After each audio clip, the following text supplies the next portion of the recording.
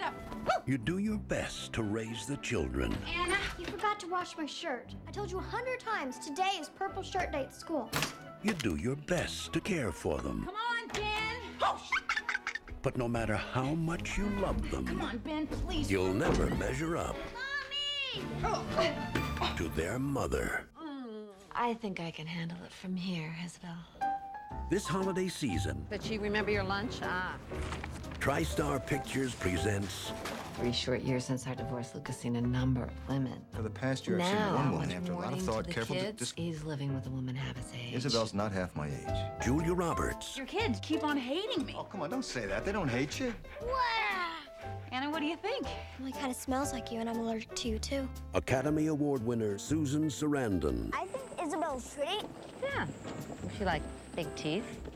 Ed Harris, You think it's easy for Jackie to watch her kids being looked after by a woman who's no experience being a mother? You want to take a 12 year old girl to a Pearl Jam concert on a school night? Just thought it would be something nice that she and I could do together. It's ridiculous. Of course, Jackie's gonna be hostile, irrational. Pearl Jam?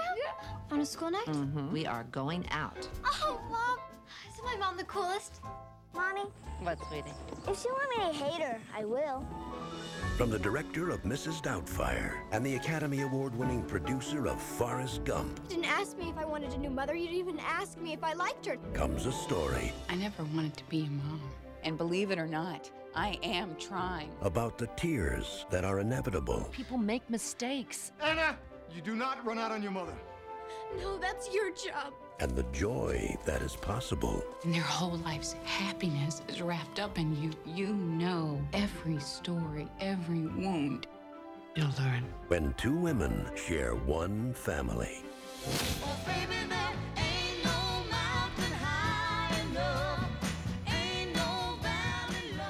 Sometimes the person you can't live with becomes the person you can't live without.